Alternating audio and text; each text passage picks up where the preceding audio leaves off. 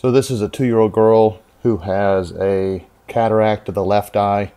Uh, the right eye is normal. Uh, the mother reports that the cataract has been there noticeable for at least a few months. Uh, there's also a left exotropia suggesting that the vision has been impaired uh, for some time by this cataract.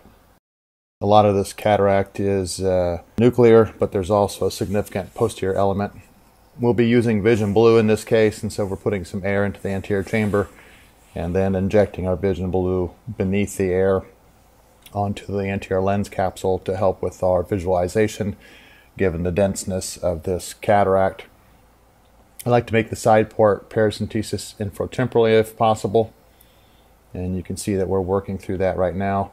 Uh, once the capsule is stained, uh, the viscoelastic is being placed in uh, to displace the dye and the air bubble. We'll be making our main incision superiorly through clear cornea just anterior to the termination of the limbal vessels.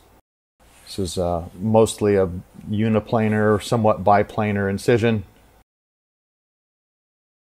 And using a bent tip needle cystotome to initiate our anterior capsulotomy, which we will complete with uh, Utrata forceps.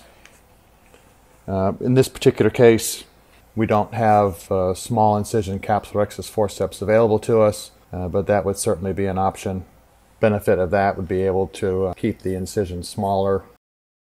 You can see how much the trypan blue assists with visualization during this uh, capsulotomy. Being only two years of age, you know, one has to be careful to continuously direct this capsulotomy tear back in towards the middle so that we can avoid any radial extensions.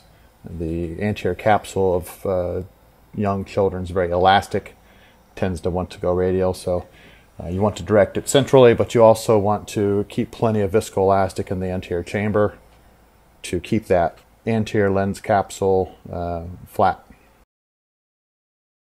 We're doing some gentle uh, hydrodissection here. You'd have to be careful about this if there's any question about the uh, posterior capsule being involved. And now we're partially closing the incision so that we don't have too much egress of fluid during the uh, lensectomy portion. And again, that's where if you have the small incision capsulorhexis forceps, you don't need to have a larger wound for the Utrata forceps and you can keep the incision more watertight. Uh, but here we've used Utratas in a 2.5 millimeter incision, so now we're putting a temporary suture to approximate the corneal edges and maintain our anterior chamber. I like to use an anterior chamber maintainer as it frees up both of my hands for the vitrector. And here you can see our viscoelastic has flushed out. Uh, largely using aspiration to remove the lens material uh, sometimes you have to use the cutter to get a particularly stubborn piece of cortex or if uh, some of the nuclear material is a little more dense. But in general, we're trying to use uh, aspiration here. A lot of times these uh, white cataracts are uh, progressive. They start with some kind of posterior capsule abnormality, and that seems to be the case here. There's a small opening in the pre-existing opening in the posterior capsule beneath this calcific area. Um, so that didn't happen during the surgery. Uh, that's just where the uh, cataract has probably come from. It's a good chance this was a posterior lenticonus type cataract with some thinness of the posterior capsule that progressively weakened over time and uh, as a result fluid started passing into the lens and it became opaque and uh, calcified here. Alternatively, this could have been a posterior polar cataract. His eye seems to be of normal size, uh, so certainly whatever cataract uh, is here probably was not very advanced in terms of being a congenital cataract. Most likely this is a progressive pre-existing condition, such as a posterior lenticonus or posterior polar cataract. So we're putting a little viscoelastic in here and uh, We've got plenty of capsular support here, so placing an IOL will, will not be a problem. You can see the anterior capsulorhexis is intact where I'm indicating, uh, so there's space to put the lens in. So what you can do here is uh, place the IOL with the haptics oriented so that they remain covered by the capsular rhexis.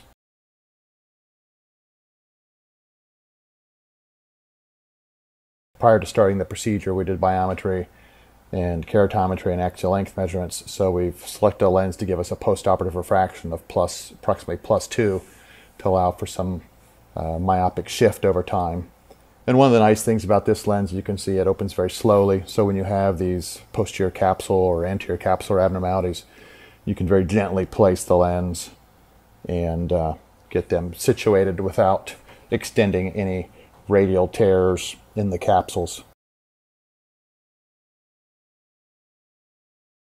And now that the lens is secure in the bag, I'm going to, uh, again, kind of reapproximate this wound so that we can uh, do some additional cleanup of the posterior capsule. So now we have our wound stabilized here, and now we're going to go back in with the vitrectomy handpiece. And what we're doing is we're reaching behind the lens implant, and we're going to do a primary posterior capsulotomy and some limited anterior vitrectomy to clear the visual axis.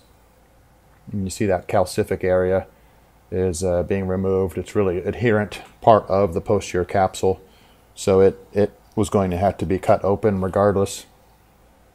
And we just slowly move around in, uh, in circles, removing vitreous. It's very difficult to see the vitreous, of course.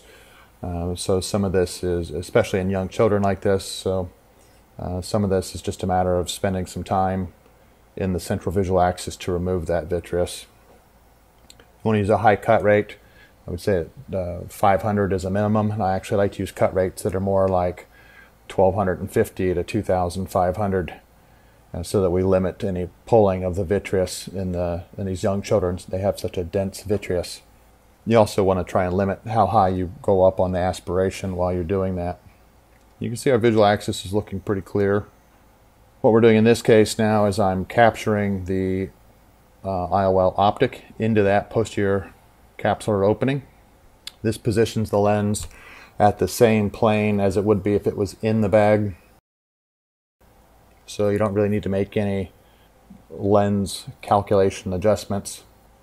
Also helps to uh, prevent lens epithelial cell migration across the lens surface. And you can see there uh, towards the end I also enlarged the anterior capsular opening just a bit.